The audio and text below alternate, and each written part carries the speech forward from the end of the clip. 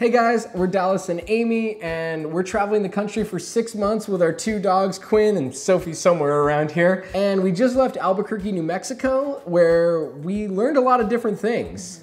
So today we're gonna be talking about 10 things that nobody tells you about going to Albuquerque, New Mexico. Pinon nuts are something that I have never heard of, but they're actually pine nuts that are really popular in Albuquerque. Um, we saw them a lot in coffee, sometimes chocolate, sometimes cookies but really tasty and definitely a unique flavor that you should definitely try.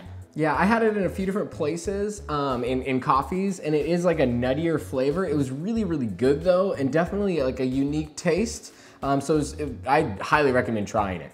Okay, second up is that Chili's are everywhere. And I'm not just talking about the restaurant, but there are some Chili's restaurants. So if you love that bloomin' onion, you will get a bloomin' onion there. But I'm talking about red and green chili. They're hanging around all sorts of like restaurants on the outsides, drying, and you see them just pretty much everywhere. They're in all sorts of food too. So if you don't like spicy food, um, like this one, you might want to watch out when you're ordering. Like if it says has red chili, at least ask the server or whoever you're getting the food from um, if it's that spicy or not. And it, you can still find like foods that you know have it that aren't that spicy, and it's more of like a chipotle type kind of smokier chili taste to it but just be aware that it can be really, really, really hot food if it says it has chili in it. And I'm talking everywhere, like even McDonald's, I saw advertising it with it in it, stuff we don't see at home.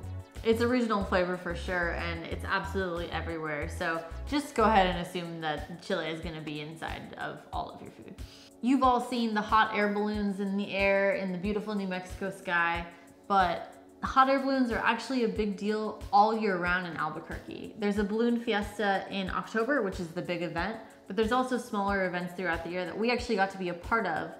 After visiting the Balloon Museum, uh, shout out to Mary, we were invited to the Friends and Lovers Balloon Rally. Yeah, it was really, really fun. There were over 100 balloons there, and the people were like super welcoming. It was a very family friendly event too. We saw lots of kids running around, lots of people with cameras taking cool photos and stuff, and it was just super unique to see. It, it reminded me of like going to like a car meet or like a car show.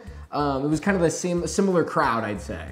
It's a really nice community of people. They were actually going to take us up in their hot air balloon, but unfortunately we couldn't go because the wind was wrong and anytime the weather is good, they are flying balloons. So it doesn't have to just be during the fiesta season. Yeah, it's a very, very common thing to see there. So when we got to Albuquerque, we were thinking like, oh, I'm, I'm hoping we get to see like one. We saw so many hot air balloons in the air. It was awesome. So I, like many of you, grew up on tons of cartoons, including Wile E. Coyote and the Roadrunner was always one of my favorites. And I was excited because I actually got to see a real Roadrunner. They're pretty cute and kind of fluffy when they curl up. We saw them running across the street, so that was pretty exciting for us. They're Definitely actually... like a bucket list moment for me. One of those, I know it's a small one, but a small bucket list check. I was like, a red Roadrunner ran across the road. It was awesome. They're actually the state bird of New Mexico, so. And I thought they were gonna be like, I mean, I've never seen them, I guess, in books and stuff. I don't know, I'd never really noticed them, but I thought they were gonna be about the size of like a flamingo, but they're not. They're much, much smaller. Um, but yeah, they're super adorable little things and they are so fast. Like runner is the right word for them for sure because they are quick little buggers. We're from Southern California, so we have had a lot of great Mexican food. When we came to Albuquerque, we expected to have more great Mexican food. But the food here is not Mexican, it's New Mexican. So it's actually a little bit of a different style. Totally. I thought it was gonna be kind of similar like Tex-Mex, where it was gonna be a mix between Mexican food and American food, but it's not. It's actually more of a mix between Mexican food and Native American food because that's who was there when the Spanish were there and the, the two flavors mixed together and you get this Southwestern New Mexican food that is so good. Definitely recommend trying sopapillas, which is basically fried bread really good with honey and you can actually get this free at some restaurants. We recommend going to Cocina Azul and they give it to you as a almost as a dessert. And then I also recommend I can't pronounce the dishes, but there they have this marinated pork that's been marinated for two days in red or green chili sauces. And it is just my mouth is watering seriously. Ah. and the service there was so so great. They're not sponsoring this. I wish they were, but they're not sponsoring this video or anything. But the service was great, and when I was ordering it, she's like, "Oh, that's a great dish. You should get it as an enchilada, though." And I was like, "Okay." So I got it as an enchilada, and it was like bigger than my head, right? And I cut it in half, which I never do at dinner or meals or anything. I always eat like almost everything on my plate, but I brought half home, ate it the next day, and was full again. So really, really good um, portion sizes and everything like that. It seemed like that was pretty common. The portion sizes were fairly large throughout everywhere we ate.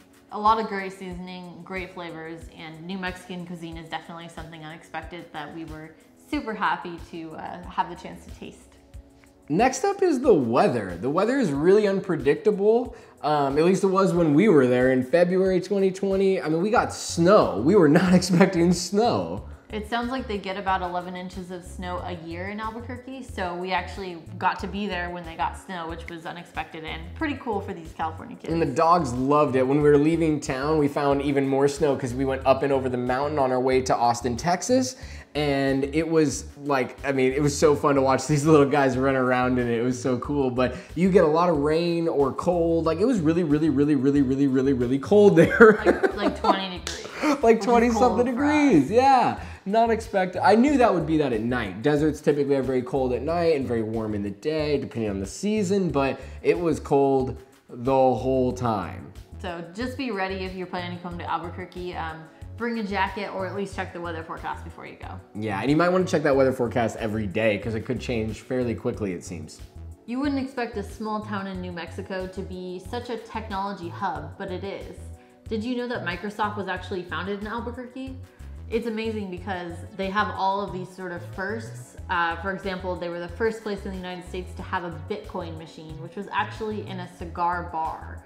Another first was that the first nuclear bomb ever exploded or tested was in New Mexico. It's at what's called the Trinity site. We didn't go to it because it literally is just like a plaque on like a big pile of rocks or like a pillar in the middle of the desert. Obviously, that's where you would want to test the nuclear bomb. But back when they were testing and making Fat Man and Little Boy, all of that testing and everything was done in secret and it was done out in the New Mexico desert and it was called uh, Gadget, and they used the word gadget for the third bomb so that that no one would be using the word bomb or explosive because of the secrecy surrounding it. And we went and visited the Nuclear Science and History Museum. Very fascinating place. We have a whole video on that too up here um, you can check out too. But that was really, really interesting to see. It's a definite somber piece of history, really of world history, right there in New Mexico. I don't watch tons of TV, I'm more of a movie guy, but when I watch shows, I really get into them. And I loved Breaking Bad, so I was super excited to be in Albuquerque and get to go around and see a lot of the filming locations that are still there. So they used real spots, like a real car wash for Walter's uh, you know, work where he was uh, originally employed at, and then also at like, you can go see Walter White's house. There is kind of a, a little bit of a interesting lady that lives there. If you go on TripAdvisor, you can read all about that. But, uh, you know, just be respectful if you go by her home. It is her home. But we went around and got to see those sites, which was which was cool for me as a fan. Um, they even have like donuts at Rebel Donut. Loved the donuts there. They had the Blue Sky donut, and it's got like rock candy on it and stuff, like the Heisenberg. Um, so really interesting to see that how many years after? Like uh, it's been seven years since the show ended. Seven years, and it's still a really big part of kind of the tourism culture there. And people were pretty friendly about it. They didn't totally love it. They didn't totally hate it. It seemed that they're connected to that because originally Breaking Bad was gonna be filmed in California in Riverside, but because of taxes, shocker, uh, they they left and they went and filmed in Albuquerque. And that's why it was all based there. But you can see a ton of stuff there. There's tours and stuff still a really big deal. They actually just opened a Breaking Bad store in January 2020, uh, seven years after the show ended. Yeah. Which is pretty pretty amazing and really shows you that they still embrace their Breaking Bad history. Albuquerque has a pretty cool, very vibrant art scene. We were able to go to First Fridays, which is uh, the first Friday of every month. They have a big art show and they open up galleries across the downtown area where people can show their work, their photos, and uh, just a lot of really cool people in that community. Uh, driving through Albuquerque was interesting for me. Coming from California, we have fairly high speed limits, um, and all throughout, almost everywhere I drove, it was like 35 miles an hour. So it was kind of nice though, because it makes it easy when you're not from a place to be able to like look around and see where you're at and kind of get your bearings without having to be so worried about like everybody zooming past you. People were driving fairly mellow. Just a slower culture there, and you don't have to worry about getting in an accident so much, which was really nice. Okay so those are the 10 things that nobody tells you about Albuquerque, New Mexico. Uh, we really enjoyed our time there, really loved it. And that was just our second stop on our six month road trip with our pups. Next up is Austin, Texas. Can't wait to check out a ton of stuff there. We're gonna have a bunch of videos, so remember to like and subscribe, and we'll see you guys next time. See y'all later.